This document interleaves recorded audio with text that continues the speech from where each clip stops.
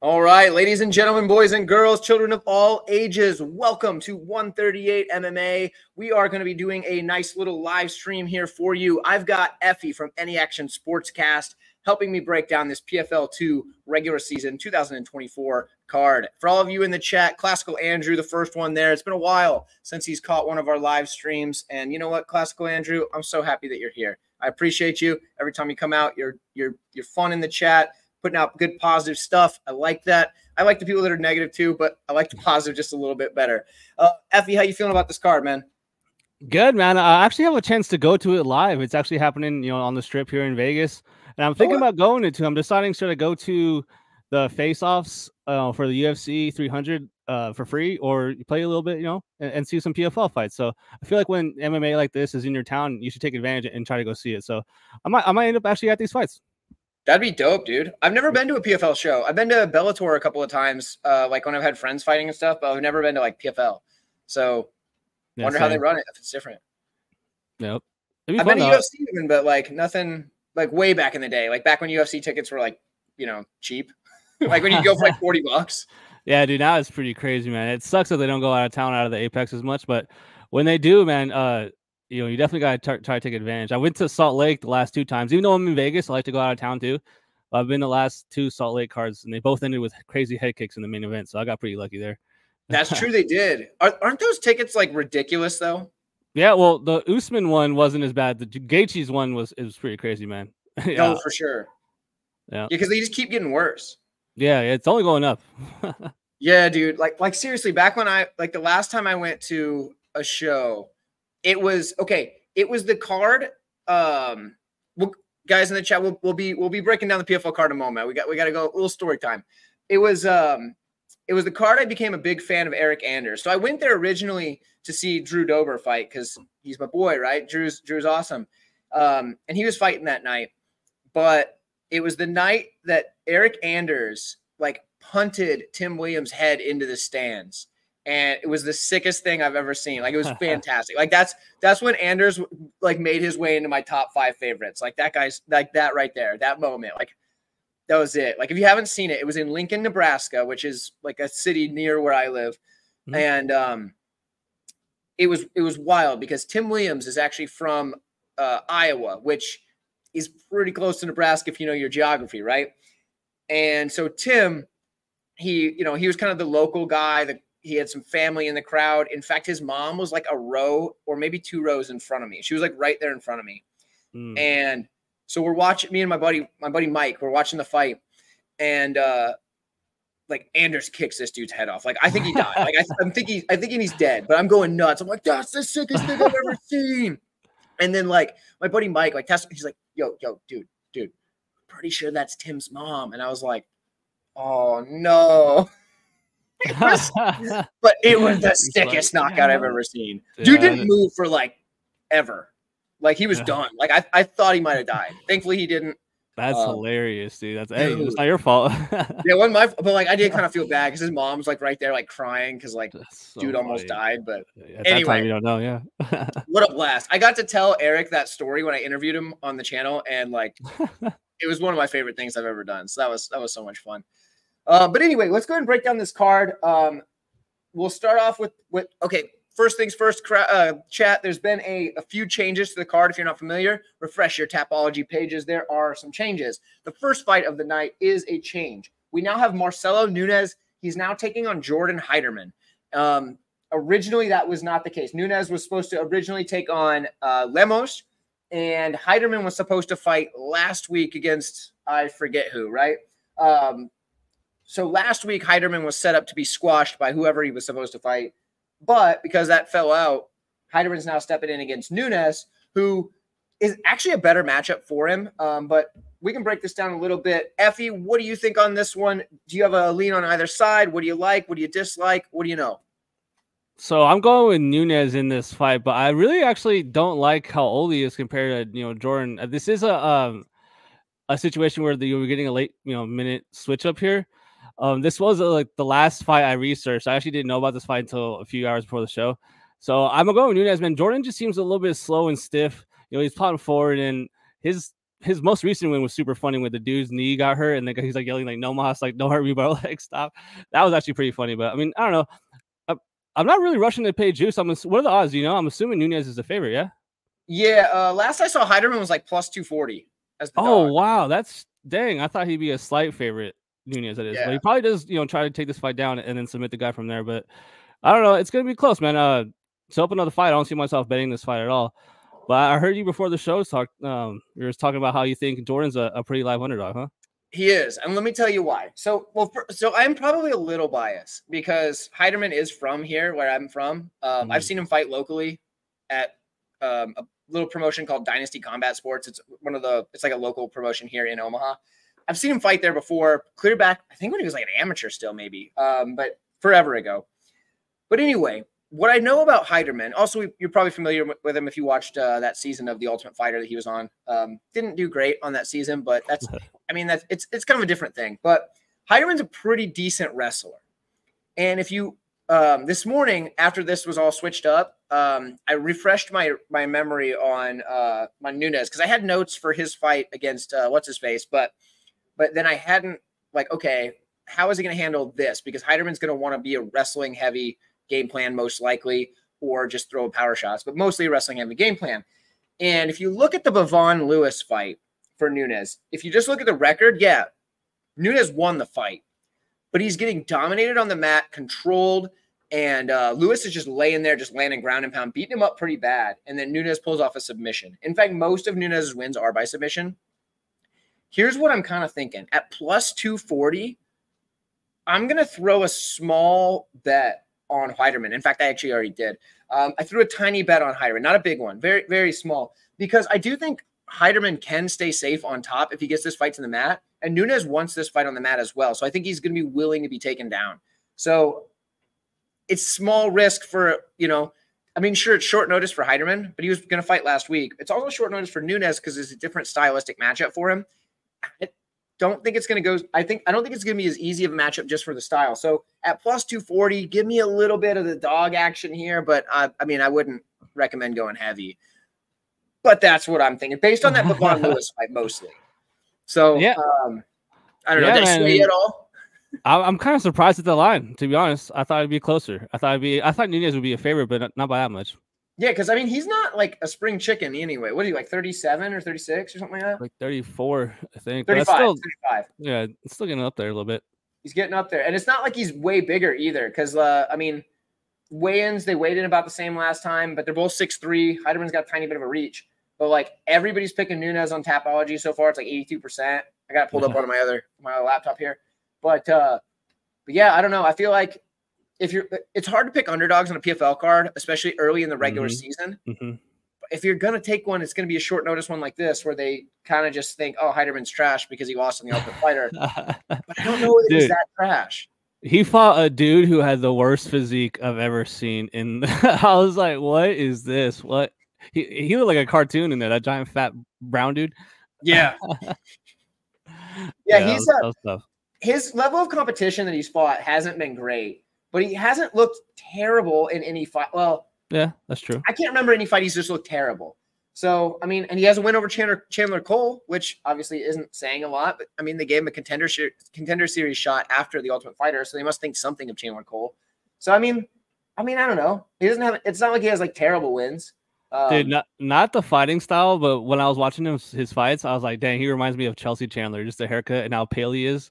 That's As hilarious. Like, forward, I was like, yo, this is a male Chelsea Chandler right here. You made me like him just a little bit less. oh damn. That's hilarious. Okay, well, we can move on. Uh, we're on opposite sides on this one, but it doesn't sound like you've got a hot take on it. It just kind of kind of is what it is. So I get that. Um, we have another short notice matchup. I'll take this one away at first. Um, it's Elvin um, Elvin Espinoza taking on Adam Piccolotti. Now Espinoza is undefeated, so that's you know going to make him kind of look you know look look a little appealing. But I think this is a huge step up in competition for him, and Piccolotti's no joke. And I think Piccolotti's gonna be able to get this one done just by being that vet. And originally, Elvin was supposed to fight Anthony Romero. Yep. And I think that was a more uh, reasonable matchup for him. I think Piccolotti's just gonna be way too much, but I don't know. What do you think on this one? Do you feel like there's a big step up for him, or do you think it's going to be that the undefeated guy stays undefeated? Dude, I'm going with Elvin still. I was gonna pick okay. against Adam, and I was going to pick Elvin in his original matchup with Romero. Mm-hmm. But dude, these are some pretty high level fights to start the card. This one, at least for sure. Um, I really I like the Romero fight originally. For but sure. Yeah, this comes down to I think Espinoza should be able to reverse Piccolotti, man. I, like I know he's gonna get taken down in this fight. There's no shot he doesn't. And I think in the clinch he'll be able to reverse positions, you know, along the cage. And on the feet, I think he'll have a slight speed advantage, but he is a little bit undersized. Um, but it's weird. He has a longer reach, but he will be the smaller guy. And I feel like Piccolotti, you know, the, veteran here, is just you know had way more experience, and he's gonna you know. I don't think Elvin's gonna show him anything he hasn't seen, type thing. And and for his you know being undefeated, I know like the level of competition isn't the greatest, but man, I feel like he he's pretty quick. Like I like him. I, I know he's small, but I'm going with Elvin in this fight, and I want to see this grappling, man. I'm really excited for the grappling exchanges in this fight for sure. Dude, I love that we've had two fights already, and we're on opposite side of both of them. so this is this is oh. great. Yeah, chat, I know you guys think? Weigh in on this, everybody in the chat, so we get some some deal, some tiebreakers here, huh? There, there's another one coming soon. You're gonna be like, "What the hell?" oh, dude, I swear. I, if we're okay, there's a couple. If we're on the opposite side, I'm gonna I'm gonna be so confused because some of these are some of these are gimmies, I think. But uh, but we can move on to the next one. I feel like that one we're flying through these, but that that one was uh that one's cut and dry. It's like, do you think the hype young prospect is getting it done, or do you think the grizzled vet is getting it done? Is kind of what that is. So whatever side you land on. Um, next one, Gadzhi Rabadanov take on Sol- takes on Solomon Renfro. I'll let you kick this one off. What do you think and why? Dude, I'm going with Solomon. Uh, why is he weighing 155, dude? Nah, this is more of like a Cody Brundage and uh Bo Nickal type situation here. Like Gadzhi is gonna try to wrestle and get this fight down. Like there's no shot in hell he's gonna you know spend minutes at range here. He's gonna get his head clobbered off like against Solomon, man. But dude, it's so funny. Uh, like this dude lost to my boy Adam Fugit, dude. Like you can't be losing to Adam Fugit, you know, on the reasons and getting heck kicked five straight times, you know, without changing anything. But Solomon's not the best fighter. Like, but dude, I was shocked at this line, and I actually think that Gadzhi or this dude Gadzhi, I know he's with um, well, he was with Khabib's team. I feel like he's just one of the worst fighters to come out that gym. Him and Tagir, like they're on the lower end of that camp, and he should be the favorite. He, he has way better experience, way better wins, and honestly, a better overall skill set. But I'm going. I'm, I'm. This is my Cody Brundage pick of the of the night, dude. This is a. I think he should be a huge underdog. I can't believe he's making 155. Um, but he is a little bit small, like in the frame. But he's built. He, like, he's stacked at 170. So I'm kind of surprised he's he's coming down. So did so, the yeah. line blow up or something? Last I saw, uh, Rabadanov was only like minus 180. Dude, I saw him at minus 240. At like, oh, I don't know if it's come back down or, or what. Because I bet Rabadanov at minus 180. That's uh, good. That's I had him parlayed with JJ Wilson, so now I have a money line on him, uh, which is ah. stupid.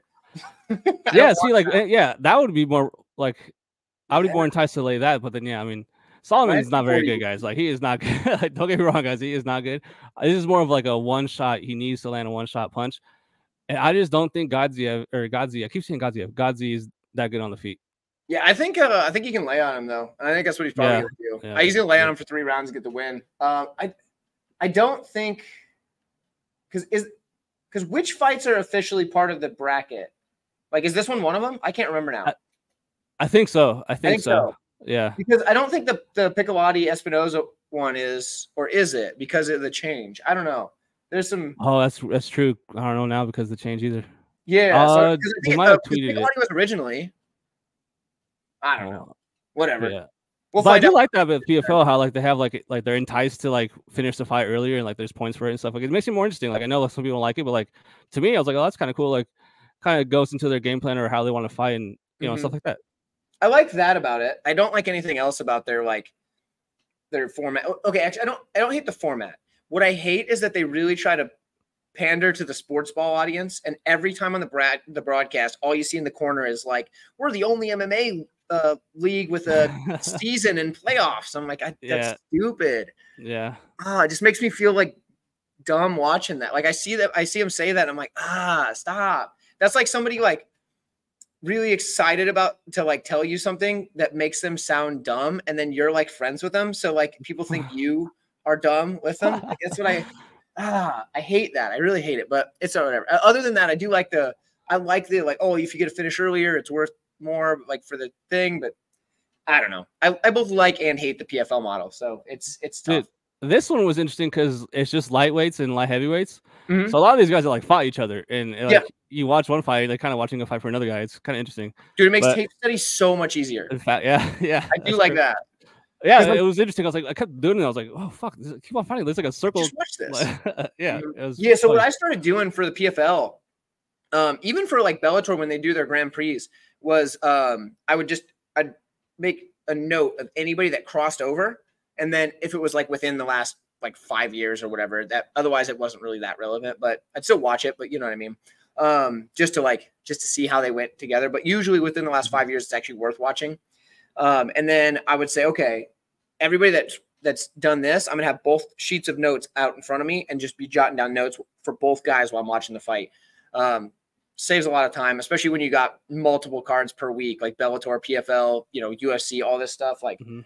whew, but UFC 300 and this in the same week it has been wild. Thankfully, UFC 300 was pretty easy to do tape study. yeah, like- yeah. All of it's right there on either ESPN Plus or or Fight Pass or whatever, like no problem. So Dude, does this ever happen to you where you go? uh, This happens to me in the UFC fights, but like you'll go to watch a fight on Fight Pass and it doesn't work.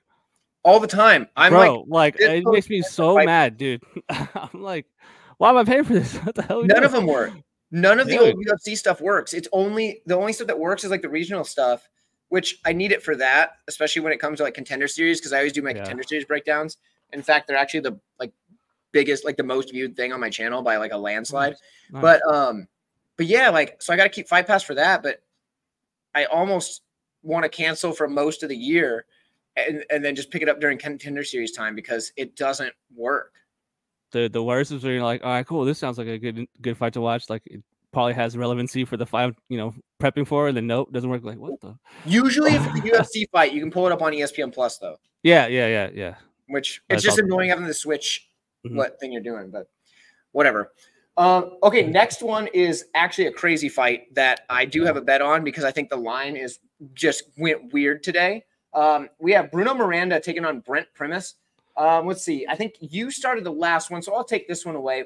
I think Brent Primus should be a pretty big favorite here. And I got him at plus 100 today on DraftKings, and I have no idea why. That makes no sense to me. Primus is the far better fighter, if you ask me. Now, it's not like Miranda's bad, but Primus is going to be able to take him down and mug him. I think he submits him probably in the first two rounds. Uh, like Primus has fought some very good guys. Um, his last loss got thrown out, obviously, because uh, homeboy tested positive for some drugs. but uh, but like, okay, you look at his losses.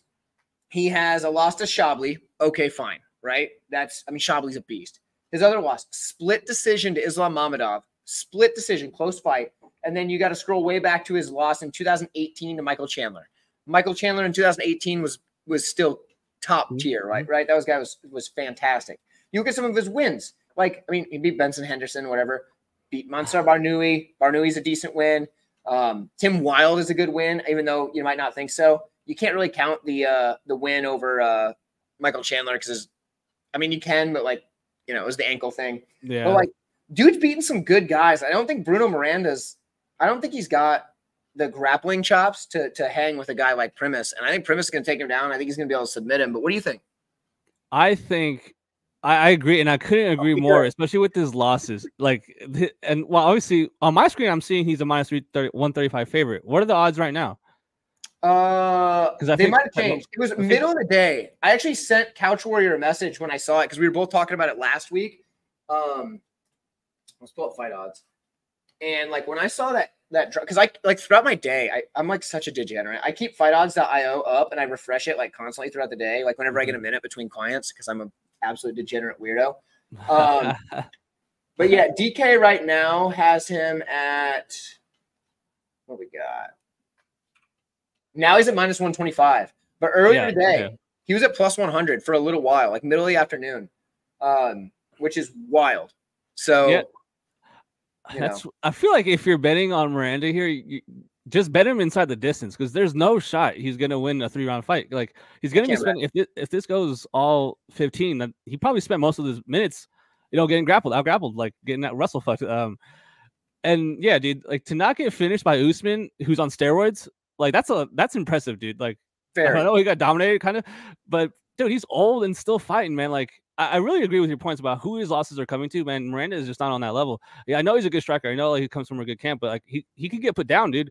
And and yeah, man, that's just gonna be his game plan. I feel like it's a theme for the card, man. There's a lot of wrestlers on this card, a lot of grapplers that are gonna try to out grapple their opponents. So I think Brent is is gonna get it started off pretty good. So for the, I think it's the first time we agree, huh? This is our first agree, right, yeah, cool. which is wild. So watch him get slept. So, so no. I was just thinking that, like, I was like, well, how can I make this worth it? So I technically, if I have Primus at plus 100, I could technically place a free bet for the mm-hmm. equal units on Miranda inside the distance, and uh, then I just got to hope for that to make any profit. But I think I wish I got him a little bit better than plus 100, so I'd profit either way. But uh, yeah. I think Primus wins at such a high clip that I'm, I do not think I'm going to play it. But yeah, yeah I mean, I got, I got to say Primus. Miranda's quick. He does have some speed on him, and it should be interesting in the clinch. But I feel like he just loses those positions at a high clip. So I, I get whether we tripped or you know on open map. But yeah, I agree. Uh, Primus and that line, I think is moving for a reason. A lot, I feel like a lot of people agree too. Yeah, I don't know why it got down to plus 100. It wasn't on any other book. Uh, on most of them, it was like the closest he got was like minus 102 on Bet Online, I think it was. But that plus that plus 100, I was like, dude, once you hit that plus, I'm in. I'm in. His age scares me a bit, but like, nah, I'm in. Yeah, uh, yeah. We we agree on one though. This is good. This is good. Let's move on to the next one and see if we can agree here. Um, we have uh, what the hell? Uh, uh, Dov Oh, dude, I don't even know. yeah. Yagshimuradov, um, and he's taking on uh, Jacob uh, Neto. Uh, this is Neto's first appearance in the regular season, I believe. He's uh, fought for PFL for their like um, uh, PFL Europe. Uh, Yagshimuradov is obviously the Bellator. Okay, real quick before we sidetrack, when you look at their cards, the PFL cards this year, are you in your head being like, "Oh, that's a PFL guy. Oh, that's a Bellator guy"? Are you? Are you doing that? No, I didn't. I didn't even notice until I saw the graphics. Like they would put like next to their name, like former mm-hmm. Bellator. I'm like, oh, like all right. But I mean, obviously, you look into it, like you find out. But like, uh, it's I don't know. I think it's interesting a little bit. I'm sure like the Bellator guys want to win. Oh, you know, for you sure. Wanna, you don't want to get punked by like your new like you know organization like that. But yeah, most of these guys will have a lot of experience coming over. So oh yeah, most of the Bellator guys have way more experience. Yeah, yeah, exactly. And most of the Bellator guys are better, but not all of them. most of them are better, to be honest. Like, yeah, yeah. I mean, that comes with experience. Yeah, it's definitely true. But what do you think about this one? Yagshimuradov versus Neto. Who do you got and why? I'm pretty low confident on this one. This one I kind of hope you can sway me. I'm going with was it Jakob or Jacob because um I think I think it's Jacob uh, or Jakob. I'm going but he seems to be you know pretty finish dependent in this fight. Uh, this giant Russian hairy dude on the other side, like he seems to be pretty I, am more experienced, well rounded. You know, has a pretty good skill set, but lately he hasn't been grappling as much. I feel like Correct. if he wants to stand, like that's just not the highest IQ move for him. If he does go out there and wrestle, I feel like he, you know, could have some success in this fight. It's a pretty closely lined fight, but you know, he's 34 years old, getting up there. So I'm going with Jacob, man. He has a little bit slightly more power, more uh, power on his shots, in my opinion. I feel like his shots will, will matter more, whereas the uh, this Russian dude should has to like add on and accumulate more volume.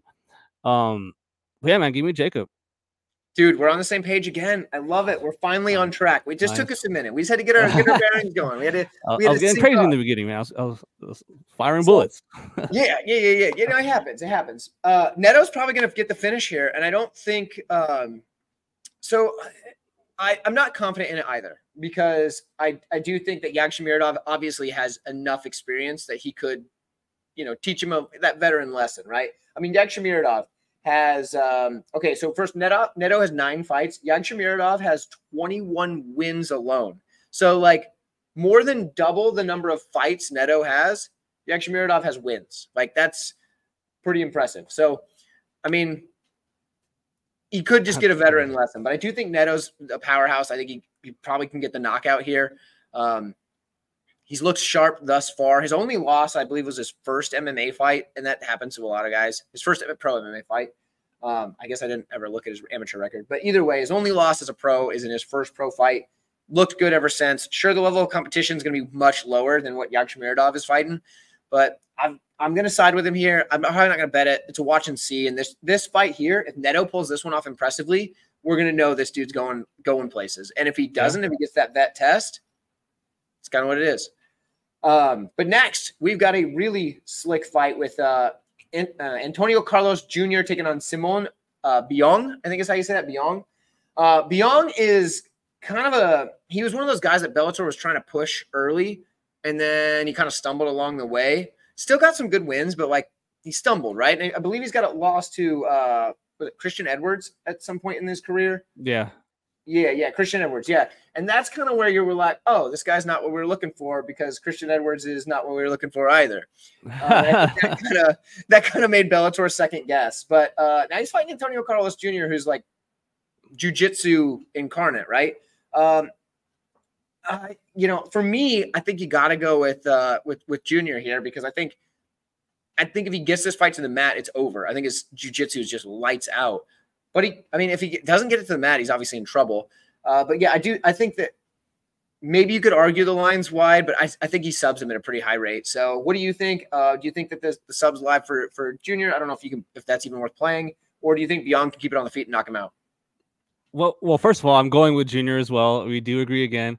Uh, but as far as betting the sub or, or knockout, that's just so interesting because if he gets it down, I hate doing those because like there's really no difference in this guy giving up his back, turtling up, or getting mounted, and then a, a ground pound finish happening, or him t- giving up his back and him snatching up the neck. Um, it's just so 50 50 in those spots, but I think the sub is the way to go. I think the grappling, you know, disparity here is huge. Um, but Simon is huge, man. He has a crazy long reach, crazy tall frame. And this guy Antonio hasn't fought in forever. He's had a huge layoff.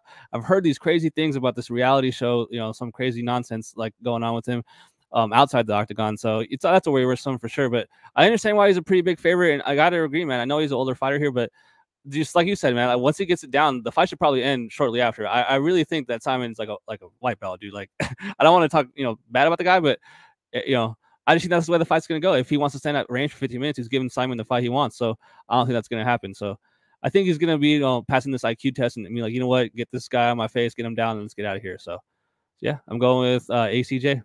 So if it makes you feel any better about playing the sub over the like inside the distance, even though the inside the distance is like plus 105 and subs like plus 130, I just pulled it up. Uh Junior's only got he's got 11 submissions, zero knockouts, and four wow. decisions.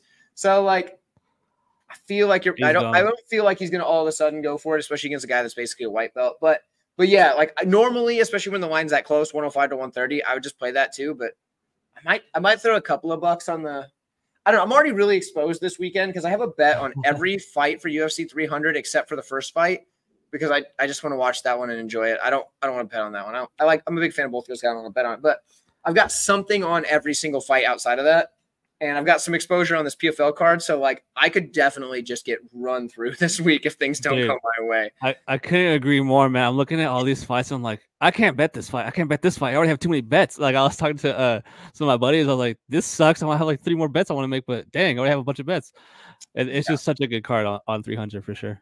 Yeah, I'm like, I'm like, man, like I don't want to like add to my bankroll just to make a bet because I've already bet way too much. Like, I, I, mean, I'm not at that point yet, but like at the same time, like it's it could get there if I went wild on this PFL card. Um, real quick, I want to shout out MMA clips in the chat. Always in my comment section, hilarious. Always, always coming with the jokes. Always coming with the fun. So MMA clips, one of the real ones. I appreciate the heck out of you. Thank you for tuning in. Um, but yeah, dude, this PFL card has some spots that I do like, but I just I've only bet like three or four of them. So nothing crazy. I mean, I um, like JJ, dude. I like JJ in that fight. Damn. you like who? Uh, JJ Wilson that got canceled. Oh, oh yeah, yeah, oh yeah, yeah JJ. That yeah, was a good like, spot. I feel like. like who we look? Oh yeah, yeah. Once it got canceled, I was like, forget about it. That's out of my brain. Oh, it's gone. You get gone. Okay, so yeah. Sadibou Sy versus Josh Silveira. Uh, mm-hmm. This one was tough for me, and not because I think not because I think Silveira is like top tier, but I think that he has advantages in places that Sadibou Sy does not, and I think that could be a problem for him. But uh, I've gone back and forth on this one. Maybe you've got a stronger take. What do you think? Oh, dude, I'm going. I'm fading Sadibou Sy in this fight. I haven't bet it. I don't like foresee myself doing it but because I am like down on the year on UFC, so I have to be super stingy with my bets. You know. I don't want to make the hole even bigger, but like this comes down to can Josh get him down because that range is going to get picked apart. What's crazy to me is how is Sadibou Sy going up so fast? Like that's a huge, huge, you know, weight jump here to, to weight at 170 just what four months ago to come up at 205. Like that's crazy. Like, am I like losing my mind or like, well, that's two He's whole weight classes. dude, but yeah. yeah, he does. He has a huge frame, and he's actually the bigger guy. Like, so you know, it's actually kind of interesting. But yeah, man, I think Josh wins this fight. I think he gets him down. Like, he as long as he doesn't get knocked the hell out on the feet, like, which you know, obviously is the way Sa- Sadibou Sy wants to go. But he has those crazy kicks. You know, he's got to be careful closing the range. But it should be an interesting fight. I don't see it going the distance for sure. But yeah, give me the underdog in this fight. Yeah, sounds like the chat kind of agrees. Uh, did you have did you happen to play him when he was actually still plus money? No, no, no. I just knew he was the underdog. When I when I went to start the tape, like he was underdog. There was a few fights where I didn't know the odds going into it, but I, I knew Josh was underdog. I I, guess don't know if he is now. plus money on DraftKings at plus 114. So that's something. Mm. Um, but Mm. yeah, sounds like the chat agrees with you here because um yeah, like Sy moving up, that two weight classes is weird. Um, you know, Silveira does have a pretty good chance on the ground. Sy could pull it off. I mean, hmm I'm trying. I'm looking at this, thinking like, you know, is there a way I can, I can, I can win on either side? And then I was like, nah, that's not worth it. But, um, but yeah, like there you go. Like, like, uh, like Mountain Bet says, the price is pretty much gone on Josh. But even then, if you think he wins, you know, more than half the time, I mean, if you took him, I mean, if you took him at like plus 114, that's not a bad bet at all. Like, I don't mind that. But I, I don't know. I'm, I'll probably pass on it to be honest. I was looking at trying to play them both. I was leaning Sy earlier today because he's he's going to have the striking edge, right? Yeah, I mean, gonna be faster too. yeah, but the then he gets to the be- mat, Yeah, but that's just so weird, man. He's like 37 years old, going up two weight classes. Like, whoa. yeah, I don't like that either. The age, I don't like that either. But he's a Yeah. massively good striker, but he also isn't like knocking a bunch of guys dead either. So, that's true. so because like his last couple fights went to decision. Am I right or am I wrong? I think yeah, his last fight did right. Yeah, I know his last one did, or not his last one because his last one was a loss. His last win, yeah, his last win was Carlos Leal. That's right, went to decision. But I guess before that he was knocking guys out. But that was earlier in the PFL playoffs or whatever. But yeah, whenever he fights like the guys that are in the playoff, like in the higher the playoffs, God, I hate playoffs. Uh, whenever he's fighting those guys, he's going to decision. But when he's fighting guys that aren't that good, then he's knocking them out. So yeah, uh, but he got subbed in his last fight too. Ooh, I might switch to Silveira here. Ooh, that's tough. Like I'm not big on Silveira. Me neither, though. Yeah, Uh, but it's just like there's ways for him to win. Like even at range, like if he does get deaded, then then you know you gotta give it up to Sy. But you know if he gets him down, right, like we're gonna be sitting here like, oh damn, like he was plus 140, plus 130, like damn. You might have you might have convinced me to switch. I might switch that to Silveira. Uh, yeah, yeah, yeah. I think I am. I think I'm gonna switch to Silveira. I think you guys. I think you guys are right. Um, I've been going back and forth on it, so nothing too crazy. Um, but yeah, uh, yeah, it's like MMA Clip says. Like his striking looks awkward. Definitely, if he gets stuck on the feet, he's toast. But I do think like on the grappling, he has a big, big advantage. Yeah. And I don't, I don't think Sy can keep it on the feet the whole time. I don't think he can. Um, he doesn't look awful at 205. That's true. That's true. I check my tapology picks for my final pick. For the video, I'm gonna agree with you guys here and say say Silveira, but uh, ah, it's tough. It's tough. Another one, yeah, he's old. He's like 37. like you guys have me convinced, but at the same time, like he's such he's like the way better The- striker. what worries yeah, the what worries me is the speed. The speed is, should Mhm. be should be pretty obvious here, but I mean, who knows? Maybe like the new weight class, a little more weight, he slows down, you know, towards the end of the fight. But Even if he slows down quite a bit, though, he's still gonna be way faster. Like he Yeah, doesn't slow down. dangerous A lot. too. Yeah. Like is he like wearing like wrist weights? You know, like yeah, who knows? Maybe he looks like shredded on the scales. that's true. Yeah, maybe this this will be one that like tomorrow, like after the weigh-ins, we'll figure Mhm. out a little bit better because because like if he looks like he's still gonna be quick, might have to might go. Ah, we'll we'll see. Keep an eye on the tapology picks for my final pick. Uh, but we'll move on. We don't have to we don't have to beat this one to death. Uh, Mads Burnell taking on Michael Duf, uh, Dufort. Uh, you know, I think I'll start this one off. It's really, really simple. Mads Burnell is probably going to win this fight. I think both guys probably going to get this fight in the in the grappling exchanges. I think I think Burnell is a way better grappler. I actually I'm a pretty big fan of Burnell. I have a ton of notes on him. Um, we're not going to go through all of them, but I think Burnell's pretty good. And in fact, I actually have a soft spot for Burnell for the simple fact that it was a it was a Bellator broke, breakdown I did a while back, and I think Burnell was fighting son of a gun. Let me see if I can remember based on based on his record. It'll jog my memory. Yes, Justin Gonzalez. One of Justin Go- Gonzalez's friends, like his personal friends, was in my in my comments section. I didn't know they were personally friends at first. He was just like really ripping on me for picking Matt. Like he was just so like mad about it, right? That's funny. And I was like, I, I was very complimentary of, of Gonzalez in that breakdown too, because Gonzalez is good. Like he's not bad. His last five fights, he hasn't looked the best, but it's like he's fighting killers in the division, right? So I picked Burnell and I was like, yeah, he's just gonna he's just gonna be able to out grapple him in these exchanges and stuff. And this guy's getting mad, and I'm eventually I'm like, this guy's taking this way too personal. I'm like, are you guys like friends? Are you friends with Gonzalez? No way. Like, you called him out. like, mad at you for picking your buddy. And he's like, Yeah, that's my my bud. We've been friends for like since like high school. I'm like, Yeah, dude, like I get it. Like I don't blame it at- blame it at all. Like, but at the same time, Burnell won. So I was able to go back to that and be like, told you so, dog. I love that. I love it. Because of course I gotta spike the football, right? Like that's like, what hey, how do. did how did it feel when your boy got out grappled, huh? What happened? yeah, yeah. How, how your boy, how you, how's your boy doing now? You know? Did he, did he skip wrestling day, huh? Wrestling That's class on right. Tuesday. And Burnell looked good in that fight. Like he's he's still got it. Like I mean, he's he's been around the game a long time. Like I don't think Yeah. he's that old, but he's like mid thirties at least, right? yeah, I thought he was no, he's thirty. Holy 30. Holy I know, bro. I thought the same thing. I was like, I thought he was like thirty nine. Dude's younger than I am. Like I swear. like what in the world? But this fight here. So okay, so at only 30, like I'm even more confident. Yeah, Mads Burnell's getting this one done. I feel pretty good about him. I think he's gonna be the far better wrestler. I thought he was way. I think he was at least older than I am, but apparently not. Um, apparently, I, I, this is happening to me more and more though, where I'm like, oh, you know, he's got to be at least my age, and like, I'm realizing that I'm just getting way old. so there is that. But Effie, what do you think in this one? Do you think Burnell's got it? Or do you think Dufort's gonna get this one? yeah, we're, we're agreeing again. I'm going with Burnell in this fight, and on my screen, I see Tapology has him at minus two ninety, but I think the odds are at minus two hundred now That's for what I saw. Burnell. So that means that money came in on the on the underdog here. Um, that's kind of Yeah. surprising because Dufort's gonna have to out grapple him. Like that's what he's good at. Like he's a good wrestler himself. I mean, he's a good grappler. It's funny that he's coming from Cage Titans. Did you remember? Um, fuck, who's the? Damn, I just forgot his name. There's a UFC fighter who had like three fights with 0 3, then left. He fought. Um, who's the 18 year old Rosas? Yeah, yeah, yeah. Um, who? Uh, Jay Perrin. Oh, Uh, yeah, I'm pretty sure Cage. Uh, Jay Perrin's running Cage Titans in his division now too, which is actually kind of funny. But uh, yeah, man, Dufort has some pretty good submissions. It's funny uh, that Luis Pena win was pretty good, man. Um, Yeah. Luis Pena is a super tall long, so it's actually kind of easy to submit those guys in my opinion. They have super long limbs. Um, they're kind of more easy to maneuver than like a short, bulky guy.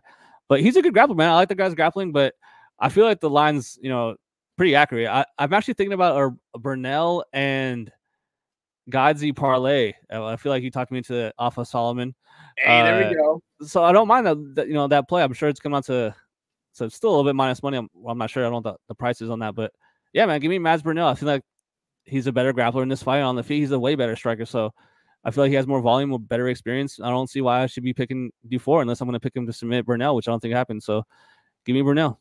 Yeah, looking at Dufort's record, I think he's got he says he's got nine submission wins. So yeah, I mean, like Yeah. there's a chance he catches him, but like, yeah, I think Burnell's gonna be good on in like I think he stays safe. I think uh, he's he's too good of a wrestler, and he's got too good.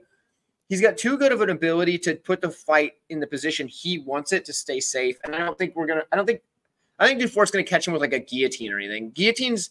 Oh my! I catch flack for this all the time. Guillotines should not work in high level. Should not.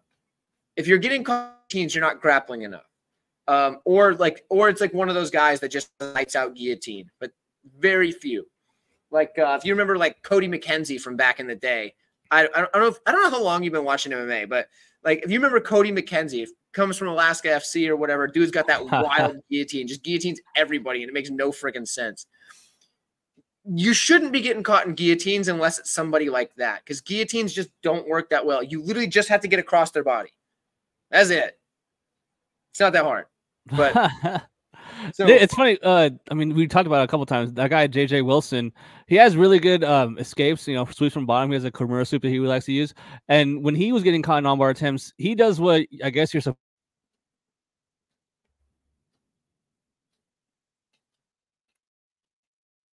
Uh oh.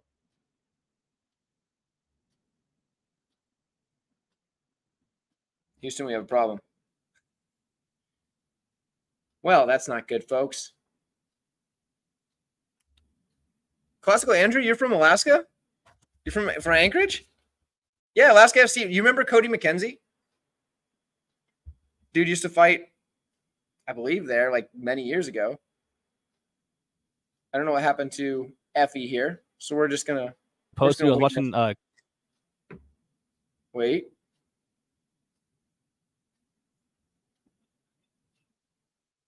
Yeah, well, we lost him, but um, he'll be back. So anyway, um, yeah, Alaska FC. Yeah, you remember the name? Yeah, not the guillotine, dude. It was so he would he would get these guys in this like, um, he would get these guys in this. It was like this like a side like single arm kind of thing, like a weird like. Look up Cody McKenzie. Almost all of on, on like Tapology thing. All of his wins are pretty much guillotines, and they're like a weird like modified guillotine. And like, dude was just catching guys left and right with it. I think he was even on a season of The Ultimate Fighter um, if I'm not wrong. And like it was the same thing. It was just guillotines. Like he wasn't the best fighter, but the dude could guillotine you, right? This dude could guillotine. That was his game. Um, MMA clips. What what state is my gym in? I'm in Nebraska, good old Midwest. Uh, we we're known for corn and flat land. so, um, but I'm in the only part of Nebraska that's like a city because most of it is just just farmland. And I'm in the spot that's not. Whoa, we've got Effie. We back? We've got Effie back. Hi, yeah. That was really weird. Dude, you're you're here twice at shows. Oh, what like, the hell? Have you backstage and here? That's wild. Um there we go. I don't remember what you were saying right before you disappeared. Yeah, no, like you just have to stop moving when you're getting armbarred. Like that's the best defense. Like just don't stop moving. Just Whatever oh, okay, you do, okay. don't settle for position. Like keep moving.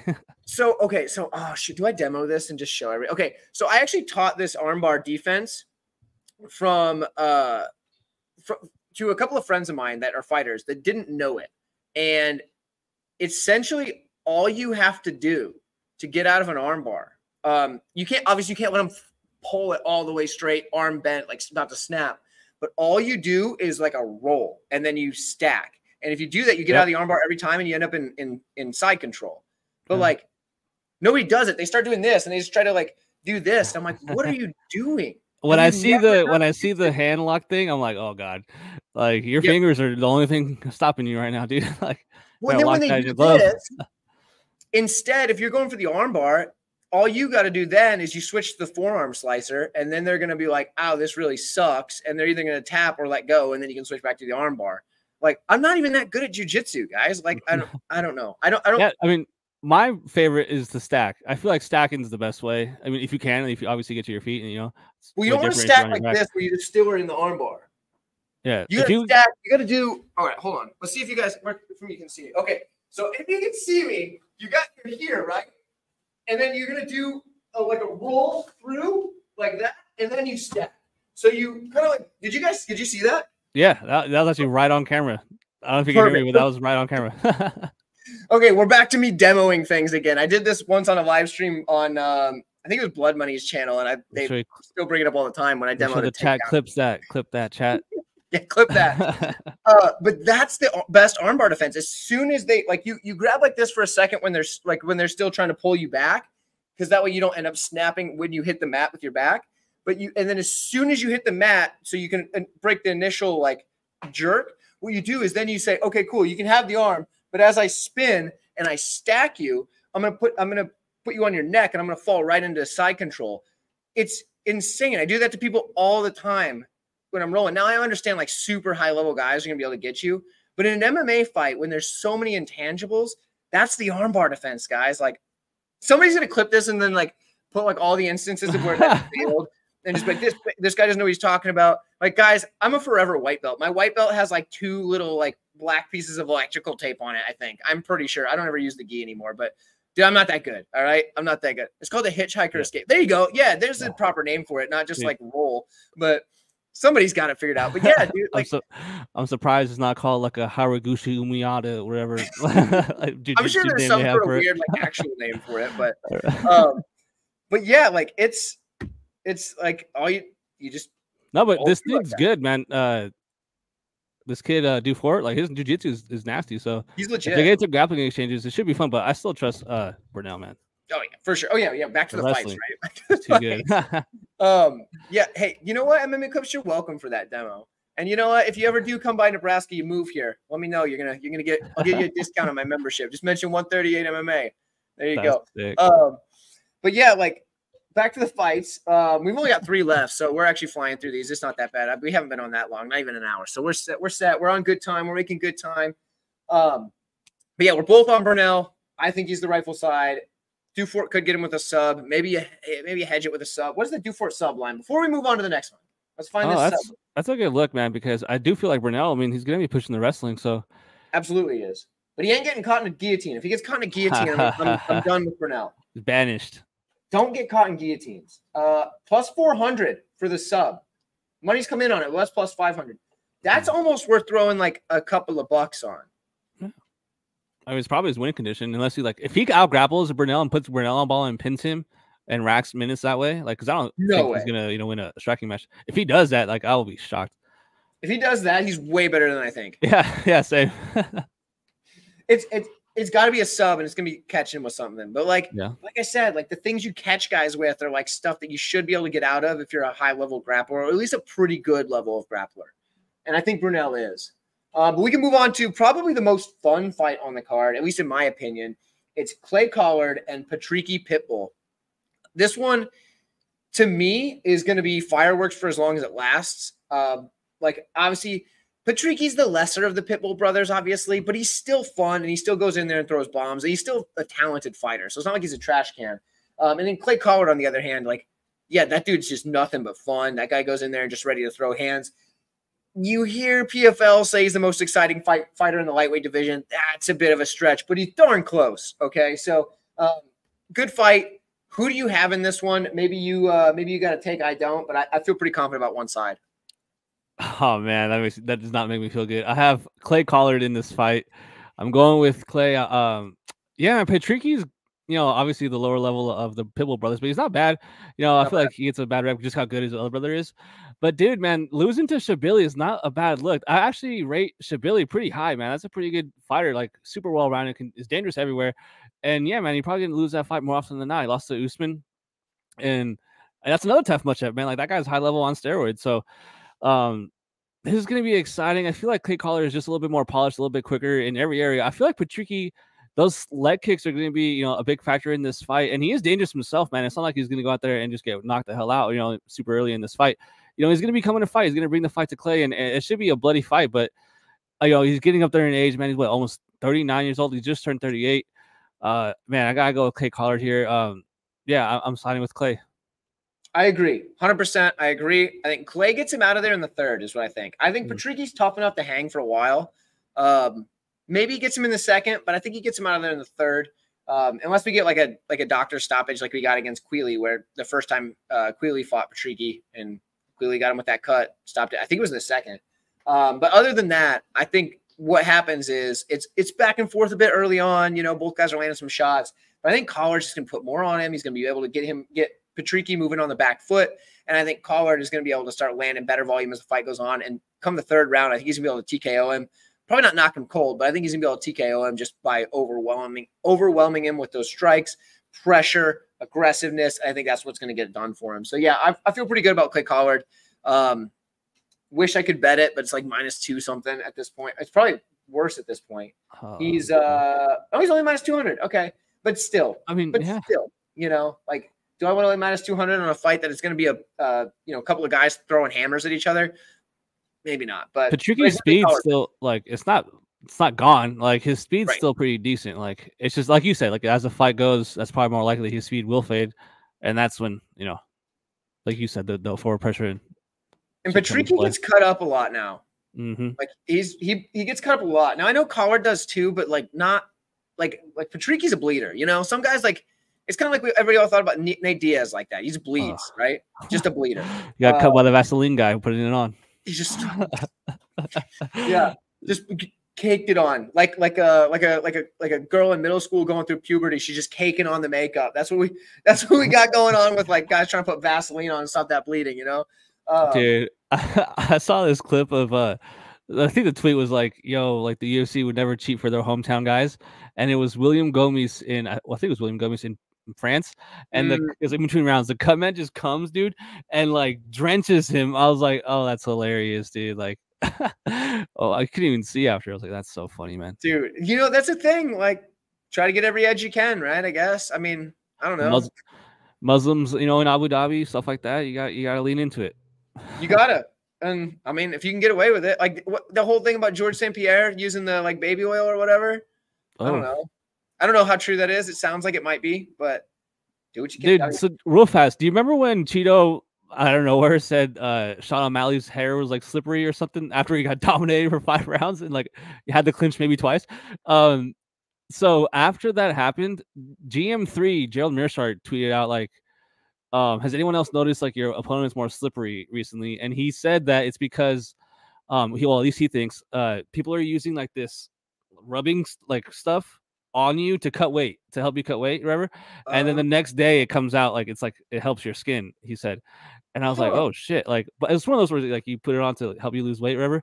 But uh, or for the weight cut, but yeah, he's saying that uh two fights in a row for him, his opponents have have felt slippery. And I was like, oh geez that checks out. You know, now that you mention that, I do know a lot of people that are doing the like that like rub stuff or whatever for the weight mm-hmm. cut. That could be something. There could be something to that. I wonder if that'll get banned at some point. Yeah. Or they just won't care. I bet it gets banned at some point. I do. I bet it does. Um, especially when like, you know, like a high level grappler loses a matchup that they were supposed to win, and then it's like, we gotta we gotta look into this stuff. I mean, it's yeah, it's it's just one of those weird things. I don't even know how it's possible to take something, put it on your body the next day, and it still mm-hmm. affects your skin. Yeah, yeah. If you so like guys fighting on the regional scene can get away with this easy because there's nobody that like checks up on it. It's like if you take a bath in baby oil essentially the night before. No um, way, dude. No way. and then you that's that's you know, wild. You shower like you don't have to like it don't have to be fully submerged, but you essentially just drench yourself in this stuff and like sit there for a while. Um, and then you shower off a little bit, right? But then when like, but you like, you know, whatever. Then when you go and you have to just post like post weight cut because you don't want to like sweat it all out. Um, but then when you go to fight, you're and you start sweating, all of a sudden that baby oil starts coming out a little bit. And it's like, what in the world? Like, why is he so slippery? That's a real thing. I would do that shit 100%. why wouldn't you, right? I mean, yep. I mean, if you feel like you need it, like you might as well use it. Like, I mean, it might cost you a little bit for baby oil. Maybe you can win it back on your purse, right? But probably not on the regional scene. You don't get paid much, but, but like, it's a thing, you know. Rob thing. Rob Wilkinson should probably use some here. Avoid Tom Breeze. He might need to. Uh, let's break that one down. Let's do it. So we've got we got Rob Wilkinson taking on Tom Breeze. Uh, this is an interesting one because wasn't the original matchup? It was Wilkinson and uh, Phil Davis. That's right. Uh, and then Tom Breeze stepped in, and Breeze is not a slouch. Like, yeah, Breeze is pretty good. I remember seeing this and thinking, like, at the odds, like maybe Breeze is live, but Wilkinson's pretty pretty damn good as well. Um, but I think if this fight gets to the mat, this this is like a this is a good spot for Breeze. Like he's gotten some good wins, and most of his wins are submissions. But when you look at it, a lot of his wins are guillotines, and like I would hope that Wilkinson's not bad enough to get hit with a guillotine. but I don't know. Um, I'll take this one away, I guess. I'm going to take Wilkinson for the fact that I think he's going to be able to avoid things like guillotines, and I think he's going to have decent enough submission defense, but he could also get controlled for most of the fight. And Tom Breeze is a good grappler, like, like really good grappler. What's he got 13 submission wins? 13. Like, if he gets this to the mat, he's got a chance, and he's got wins over like decent guys. Like, he's got wins in the UFC, even. Like, you know, I mean, not, yeah. not a ton, but he's got wins in the UFC. So, like, was he got? a couple? Uh, five. Okay, actually has more wins in the UFC than I thought. Um, guess I remember the losses more than the wins. yeah, but I mean, like the dude's not bad. So for Wilkinson, he's gonna want to keep it on the feet because the dude is most likely going to be the better striker here.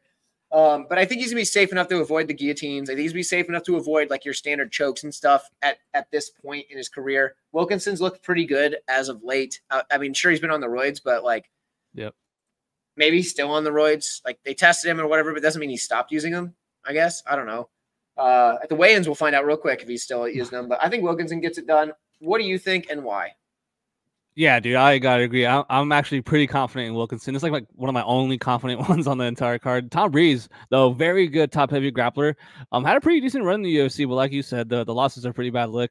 Um, you know, getting finished and stuff. But you know, he wasn't like a horrible fighter when he got cut. It's just one of those things where like there's just so many fighters, so many new you know talents. The contender series, like there's he was kind of mid, he kind of milled out and, and, you know faded out of the UFC. But he's a good grappler, man. I respect his game, but the fact that he's on short notice and the fact that he's yeah. so kind of one dimensional, um, he's fighting a guy that just got caught using steroids, was very heavy hands and, a very powerful striker in his own right. So, yeah, man, I just feel like Tom's to be uh, diving at the legs. He's super one dimensional in this fight. He needs to grapple. And if Wilkinson could just sprawl and brawl, keep this upright, get those underhooks, and get him back up, keep you know keep that at range, I think he's all over Tom Breeze here. I think he he knocks him out, and I think he finishes his fight and you know gets those points he needs for the season or whatever in PFL.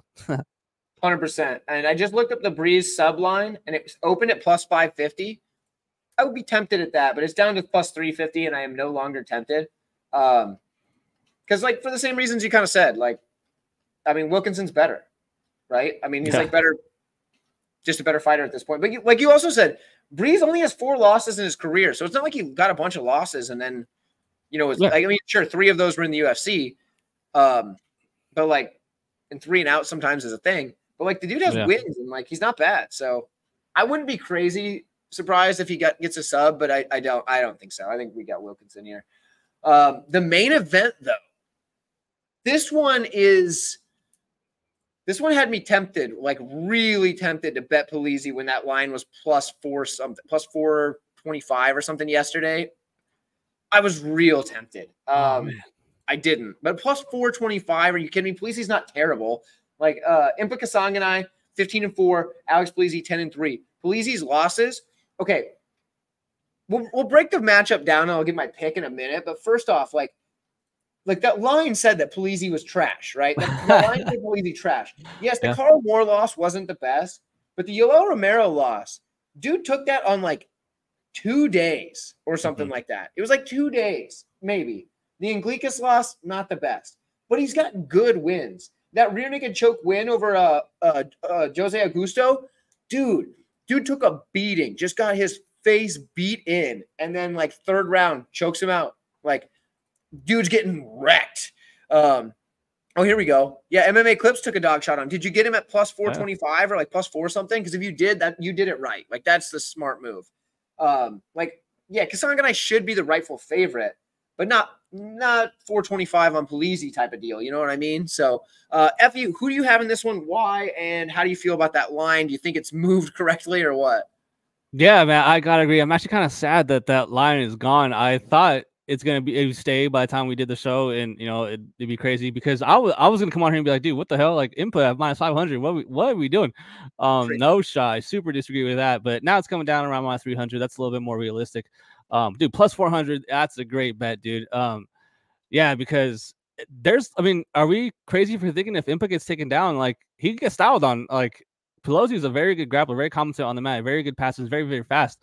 And that's not Impa's game, dude. Impa wants to keep this on the feet, keep it at range, and, you know, and try to hurt Alex. But like you were saying about his wins, man, he actually has a win over Jamal Pose, a nice little heel mm-hmm. hook, which you know I, I, will say like is not like a very uh, successful move at a high clip, you know, at this high level of MMA, but that's good, man. That's good. That's good because that dude's huge. Like uh, we saw with Derrick Lewis, sometimes these big fat giant dudes like are hard to submit, and they just have like no limbs. Like how are you gonna snatch something up when you got that heel hook? So um, that's a very good look for Polizzi. But Impa being minus five hundred, definitely got to disagree with that. Um, this line is probably more a little bit realistic, but even then, I don't blame anyone taking a shot on Polizzi. Um, I'm gonna go with Impa. I think he does eventually catch Alex, but I, I'm kind of surprised at this line, man. That's kind of my take on the fight. Yeah. So like Kasanganay should be the favorite. I understand that. But like, I don't think he, I don't think he's, I think Polizzi really has a good shot at beating him because if he gets this down, that's, he has very good control, especially if he's able to take the back.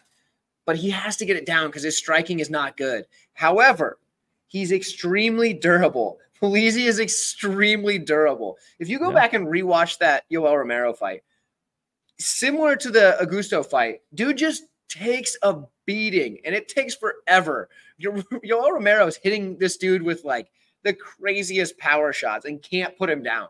Just can't. Like he eventually does. But like Polizzi just eats a ton and he just keeps coming. And he hasn't really shown any any uh, signs of that durability going away. Like the dude still has that durability. And I mean, he's only got 13 fights in his pro career, so it's not like he's been been around for a long time. I think Polizzi's got a real shot. And like I said, Kasanganay probably wins more often than not. But for the sake of the pick, I'm going to take Polizzi, and I think he's going to just, I think he's getting it done. I think he's going to get a rear naked choke at some point. Nice, I know dude. that's silly. He, but I mean, he should be the the bigger guy. Like, I mean, not like necessarily height wise or anything like that, but like Kasanganay is realistically a middleweight, right? Um, yep. Polizzi, could he make middleweight? Sure, but like, dude's legit. He fills out this 205 pound frame. Like, you know, like could he make middleweight? I think he maybe he has in the past. I can't remember. I don't. If he has, it's been a long time. Um, but yeah, I feel like, yeah, maybe he hasn't. No, I don't think he has. But either way, I feel like Polizzi is going to be the, the thicker boy. I think he's going to be able to get this fight to the mat at some point, and I think he's going to have the ability to get the rear naked choke, and that's what I'm predicting. A late one, like I'm talking third round after Kasanganay's hit him with everything in the kitchen sink, um, and he's just tired of punching him. Both of his hands are broken, and he's like, "Dude, I can't hit you anymore. Please stop." And he's like, I ain't hear no bell. And like Kasanganay's like, I don't want to hurt you anymore. Like, stop this. And Polizzi's just like, I got you now. And he drags him to the mat and chokes him out. I don't I could be just getting crazy but like he's done it before. He's done that before to guys that just beat the brakes off him. I thought he was going to do it to Romero, but then I realized, oh yeah, you're not taking down Yoel Romero. Like it's just not going to happen. So with no camp, yeah, with no camp, but also like even in general, Yoel Romero's takedown defense is fantastic. He can stuff yeah. takedowns when he's like 55. yeah, yeah, that dude, yeah, for sure. Like Yoel Romero is it, it took Yoel Romero 459 of the third round to knock him out. And like, yeah, dude, dude took a beating that whole fight. So I think I think that's what he's gonna do. He's just gonna wear out Kasanganay because Kasanganay is gonna be too tired from using Polizzi as a punching bag. And eventually he's getting taken down and sub. I'm calling it. I think it's gonna happen. He's done it before. He can do it again. And that would be great. Um, just just for nice. the fact that like he's such a such a dog. Um, I'm an Alex Polizzi fan. I find myself picking him in most fights. I was really down on him after the Carl Moore loss, but you know, uh, we'll see who we got here. We go. Uh, best root beer to crack open. I'm a dude. Barq's all the way, brother. Barq's all the way. That is the best. It's got that bite to it. You know what I mean, dude? You know I agree. Up. I agree. I agree. 100. percent A and W right behind him. Like like a specialty root beer or something. And even then, like Barq's still hits. Barq's is good. I'm about it. Like the only problem with Barq's, and I love Barq's, is it does have a small amount of caffeine in it. So like you don't want to be drinking that like super late, or you're gonna be like, man, no, I can't sleep at night. Or maybe that's just me because I'm old now. But uh, no, I feel you. But you can't have caffeine at like, like while you're watching the fights. You can't just be like, you know, going yeah. into the main card and you're still slamming Barq's, like getting that caffeine. if I go to the gym at like anything past like 3:30 and I take pre-workout, I can't sleep. Like it's crazy. Same, dude. I, I try not. I make sure that I don't get any caffeine past noon because mm. like that's a problem. That's a problem. Uh, because you know, then I won't sleep. And I already have I already don't sleep enough. Like I gotta be back. Uh, so like right now it's like almost 9 30 local time for me. And I gotta be back to the gym tomorrow to open up at 5 a.m. So oh, it's like I don't sleep enough as is. It's tough. But, but like, you know, like I can't if I'm never gonna sleep if I'm drinking caffeine late. So that's the only knock on Barq's. Otherwise, Barq's is is top tier. Um, like MMA Clips has a funny comment. more, more of a cream soda guy. You know, there ain't nothing wrong with a cream soda. It's I liked it more as a kid, but the root beer's where it's at these days, guys. The root beer's where it's at. Um, but I don't hate a cream soda. I don't hate a cream soda. There's a couple of them that are good, you know. Um, A and W is an okay root beer, but if you give me a mug root beer, I'm gonna look at you like, really, mug? It's just foam. That's all it is. It's nothing but foam. Syrup. Um, yeah, yeah. So, you know, you know what I'm saying. But, but th- those are the fights. We've talked about root beer. We talked submission escapes. Um, we talked about it all, right? We even talked a little bit about the UFC early on. We got we talked about some old school UFC, Cody McKenzie, um, classical Andrew being from uh, Alaska. Now discovered the great Cody McKenzie with his his ten guillotine finishes. I think it was, yeah, ten guillotines in a row actually. Um, and I somebody's probably put together a compilation of just Cody McKenzie just boom, boom, boom, uh, just knocking him out. Uh, McPooperton, have I ever had a beer? Uh, so I actually don't drink. I don't drink alcohol at all. Um, never have, and I don't ever want to. So I will not be partaking in that. That's, That's a funny bad. name. Um, I know a lot of people do, and if that's your thing, good for you. That's not my thing. I'll stick Yeah. with root beers. Um, prefer- preferably a root beer with, with no sugar. You know, I do run a gym here. I can't get fat. I'll fire myself. So, uh, but but yeah, no, I haven't drank, so no beer. Um, but yeah, like uh, we went through it all today. So Effie, did you have fun breaking down the PFL? yeah, man, it was it was fun looking into this and just kind of not really knowing who a lot of these guys are and just seeing what the tape says. And yeah, man, it's always a good time talking to you about fights. I really like your channel, man. You're one of the best in in the space, man. You really care about the fights, man.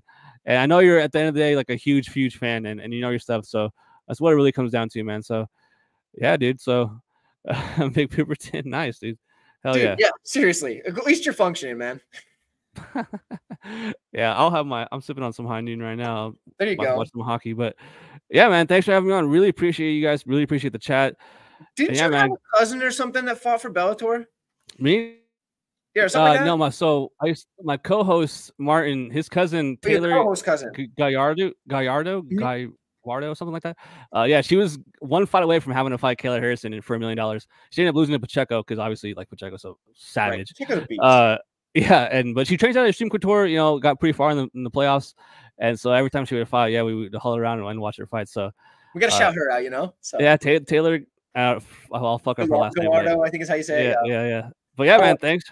Effie Oh, does yeah. have socials. Follow them all and subscribe to his YouTube. This dude puts out fantastic content. I think sometimes people don't wait for your intro to be over. I think that's the problem. I don't know what your analytics say about that because it's a fantastic intro, but it is lengthy. Um, but like, dude, your content's great. It's great. yeah. I don't thanks, dude. understand it. I, you're Not- one of the people I watch every week. In fact, I watched your video twice this week, and uh, already I watched it. Uh, I think it was last night when it dropped.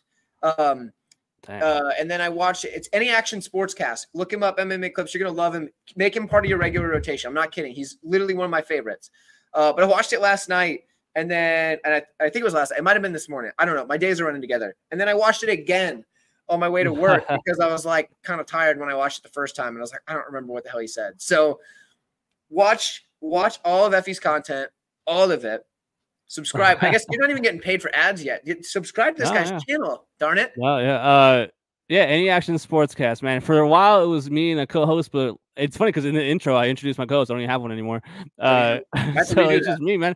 Uh, I'm, you know, I edit, do all this stuff. It, it's a fun time. I love talking about fights. I love researching fights, and and yeah, man, I've been doing it for about three years now, and yeah, I'm on Twitter. Hit me up if you like hockey. I'm always talking about hockey on there. He is talking Um, about hockey a lot. I almost I almost had to like mute him because I'm, I'm surprised Tyler that doesn't have me like unfollowed and muted, honestly, because he I know he doesn't fuck with other sports, but yeah, dude. Yeah, hit me up on Twitter, any action. Um, link to his channel is in the description of this video. cool. Yeah, man. So- Thanks for having me on though, man. Tyler's a great dude, man. All your, your supporters on the channel, obviously super cool people. And yeah, man, I watched your video a couple times too. And Thank you. and Holly Holm, man. Hey, let's do it, Holly. Come on, Holly. Let's let's go. Holly Holm getting this one done. I, I said it too. I was like, I want to pick her so bad, man. Like, oh man, I can go on and on for hours, but like, Dude, she's doing it. And I'll be going on it like uh, I'll be doing it tomorrow on Couch Warriors channel. I'm a part of the panel. You know how we do it, guys. We Yeah, do the panel yeah. odd numbers on my channel, even numbers on Couch Warriors channel. And we're losing viewers as we talk here, but that's okay. We're gonna, we're gonna run through it right quick. Um, watch the panel tomorrow night. Um, it's a stacked panel. There's like five of us there. I'm on it, of course. Couch Warriors on it. Um, Lou Betch is gonna be there. Uncle Wheezy's gonna be there. Um, I don't know him yet, but Pepe Sylvia or Silva Sylvia, I think it's Sylvia. I don't I, I I don't know him yet. I'm gonna meet him. Haven't seen his stuff, but it sounds like Smart. he's held in a Yeah, really, really high good. regard. So Yeah, he yeah. must be pretty good. yeah, uh, oh yeah. But yeah, so all five of us are gonna be doing the panel, and uh, I, MMA uh, content is weird. Like there's like there's so many of us out there that have big channels that I've just never even seen. Dude, and, yeah, like- isn't that crazy? Like um there's some dude like Lucas Tracy that I just discovered like I don't know four months ago, and he's like huge channel, and, I- and like he's terrible. Like his takes are awful. I don't. I I actually made it so YouTube doesn't show show his stuff. That's so on funny. my thing. Like I'm sure you know I'm, I admire the hustle. Don't get me wrong. Like I'm he's doing the thing right. Like it's just not content I want to watch. But like I'm just discovering some of these guys that I'm like, how on earth have I not seen you in my recommendeds yet? Dude, So- yeah, no, I feel the same way where I'm like, I feel it happens a lot with that dude MMA Guru. Like I've never seen a single thing of his content ever. Like I, I've never seen it, but I see like clip like people retweet him or like All this time. and that. I'm like, who the fuck is this guy? Like, or who the f is this guy? Like, he's got a huge channel, yeah, yeah, yeah, like, more than 100k subs and stuff. yeah, like bigger than. Toll. Like, yeah, he was on He's the countdown. That was so funny. I've watched some love of it. Some of it's funny, Yeah. but like he's Yeah. also an incel. Like I swear. so like I can't watch. I can't watch much of it. Um, like.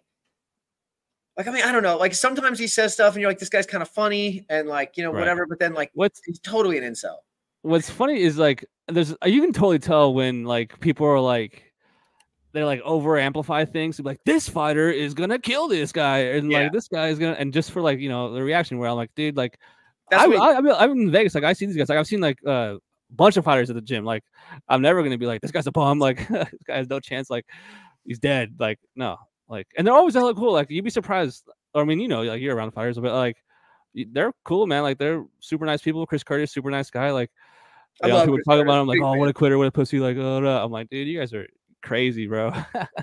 Yeah, there's very few fighters that are absolutely like actually not good. Like I've there's been very few fighters I've ever said anything bad about.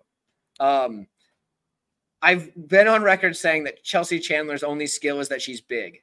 I stand by that. Yeah. Like her That- only skill is that she's big. It's working for her. But like I'm not trying to be mean. I just don't think she has a ton of skill. But like other than her, I've like I'm really complimentary of even fighters that I pick against. I try to be. But like, yeah, some guys they just try to like get the clicks and like Yeah. like, they, Uh, like I mean- every reaction is just screaming and it's like whatever, dude. dude, this one real fast. I'll say it. Like, what was this Micheal Gillmer, the worst fighter I've ever seen. Like the worst fight I've ever seen. Like that dude, because I was taping Andre uh, Petroski, and I was like, oh my god, this guy, uh, this guy is the worst fighter that's ever fucking. hey, my boy Jerry. Yeah, that was true.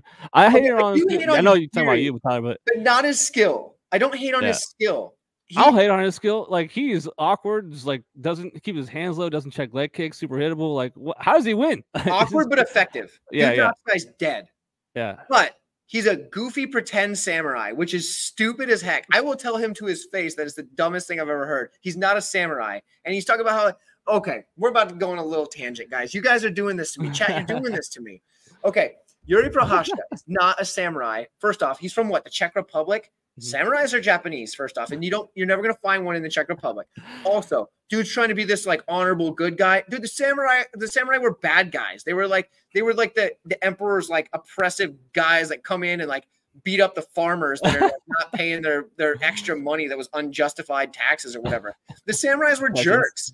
So like, dude's like, oh, honorable samurai, and then also, dude lost. He's lost a fight. If you lose a battle as a samurai, was it seppuku or whatever, where you stick that damn sword in? Seppuku, and you yeah, yeah. yeah. he hasn't cut his innards out, so he's not a samurai. I will like he, but he's very, very good at just like knocking guys dead. So I actually picked him this week, and I hate that I did it because I do hate picking him. I But I think, dude, like he just knocks guys dead, and I don't. And Rakic's coming off a massive layoff. He's been hit plenty of times. If he gets hit by Jiri with one of his goofy things, he can knock him dead. I- mean, like- how, how do you feel about this? You're a coach. Like when you're so used to fighting fundamentally f- found like guys like that have you know clean strikes that you are expecting from certain angles, and then you throw in this crazy guy. Like that's an advantage for the crazy guy, right? Like for the unique angles. Like reminds me of back in the day, Tony Ferguson. Like he was just so awkward and fluid in his striking. Obviously, his speed ended up fading in his career, but like. Like, how would you even game plan for someone like Jerry? Because like he's throwing from so crazy of an angle, like it's just so weird. So, so yeah, so that's the thing. Like, it is hard to to game plan for guys like like Jiri. Um, real quick, I gotta address. Okay, no, they shouldn't all be bland, but like pretending to be a samurai is like a goofy child's gimmick. So like, come on, man. Like, it's like it's like next thing you know, you're gonna get somebody out there like coming out like with their underwear over the top of their shorts, pretending to be a superhero. All right, like it's come on, it's goofy. Um, like I understand, you know, whatever, but but how would I how would I game plan? Like so you have to basically take away his ability to do that. So you have two options. You either stay all the way out or all the way in. Uh, Teixeira had the great had a great game plan, and it the only thing that failed him was his age, basically, and like he just he just collapsed at the end because Teixeira damn near beat him. We're using that game plan of just pressure him, stay up in his face, don't give this guy an inch of space, and um and then and then use the grappling as often as you can. That's the game plan that Teixeira used, and it worked fantastic. Outside of Teixeira, I mean, obviously, uh, uh, Pereira was able just to knock him out. Like you can knock people out, that's a thing. But I think like if that fight goes on, that's a dangerous fight for Pereira. So I wouldn't have used that. Like I'm not as good a fighter as Pereira, so like my advice is, you know, obviously not that good for him. Um, but like if that fight goes on, that's a lot more dangerous for Pereira than it was for Teixeira.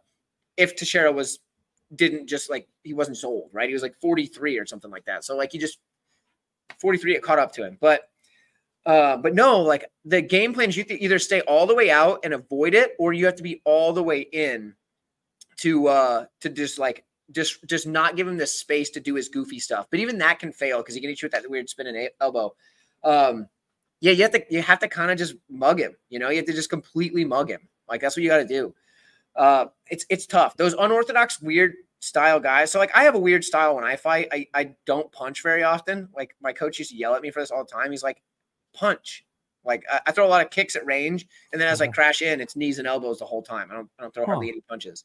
Like like I'll go from like throwing a front kick at range to like stepping in with like an elbow, like coming forward like that, instead of a jab, because like I mean, I don't know, your jab has a glove on. I want to hit you with my pointy elbow. You know what I mean? So but so like my style is kind of unorthodox too. And like guys that had success on that for against me were either guys that were all the way out or I mean, all the way in didn't do well because I wanted to get in the clinch anyway. But like, but like boxing range was a range that I sucked at because I couldn't hit you with my elbows, um, and my kicks weren't as good, and I couldn't quite clinch you. But you were just like just boxing range. I hated that. So, so anybody ever fights me now, if anybody decides to run up on me in the street, you know, if you keep me at boxing range, probably can Dude, probably box me. I can't let's box. Get, let's get you on rough and rowdy. Uh, I, you you can coach me. I'll be on rough and rowdy. Isn't that like boxing though? yeah.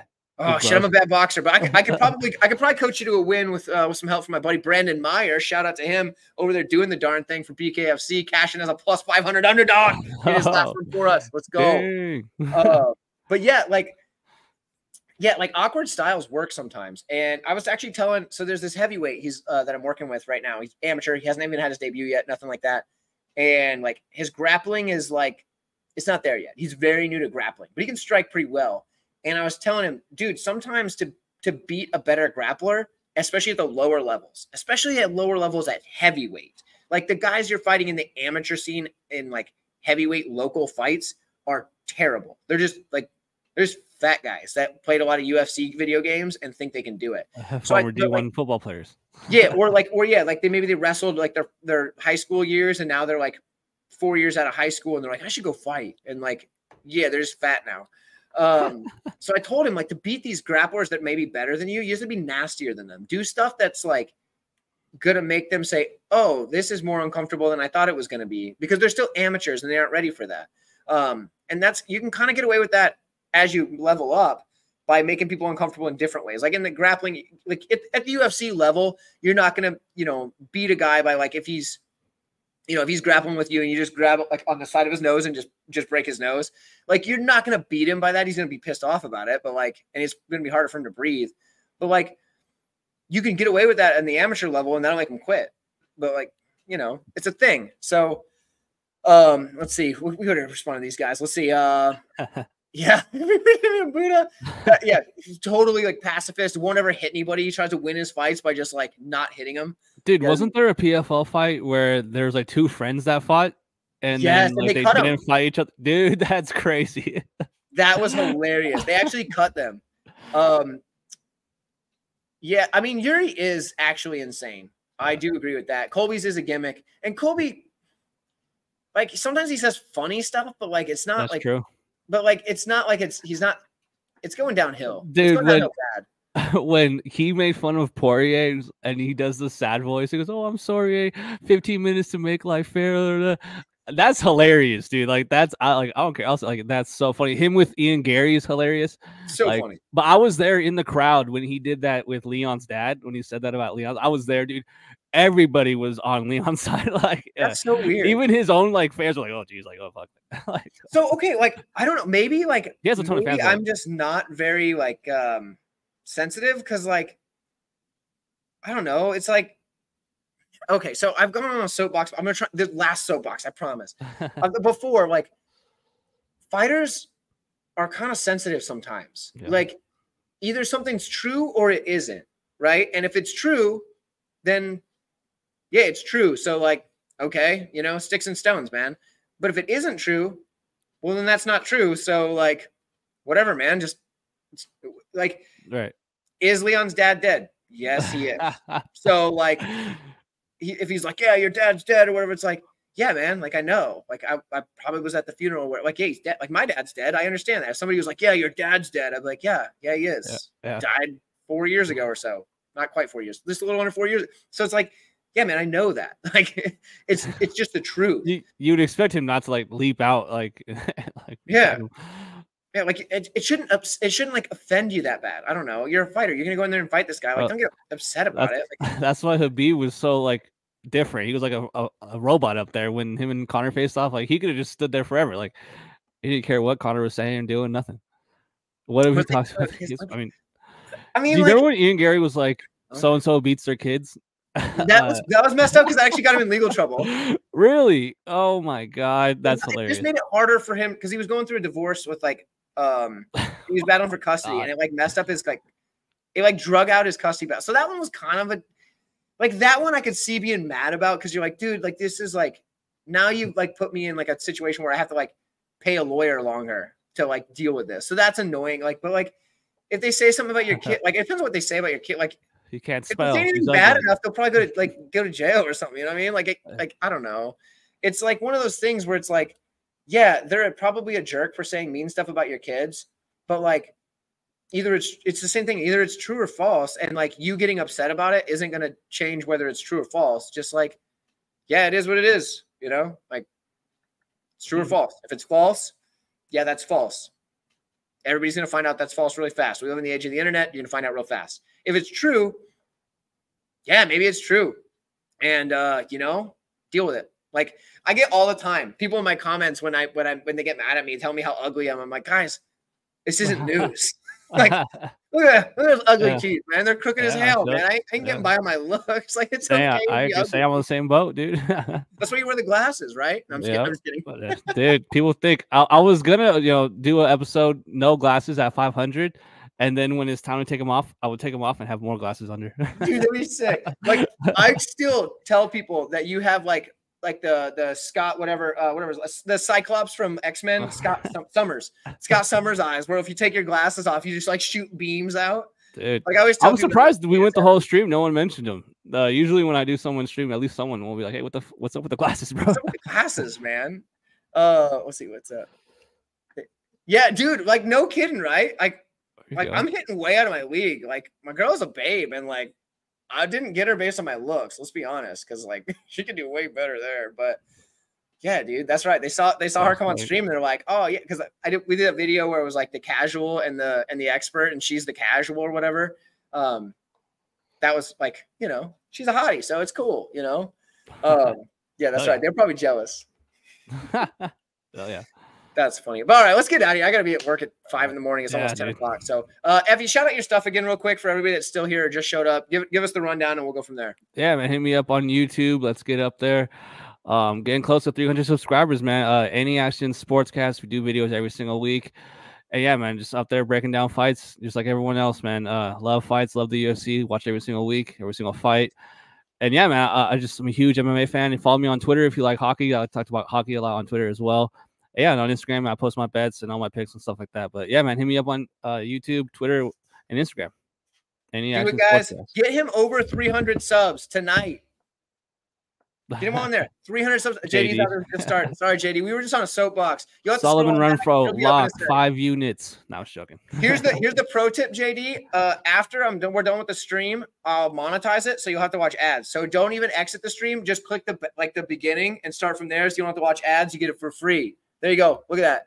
MMA clips is subbing. Everybody have a good night. That's right. Everybody go check out Effie. If you haven't got him over 300 subs by the end of tonight, I'm gonna be really disappointed in you guys. Please do that. Um, but with that, we are out. See you later. Later.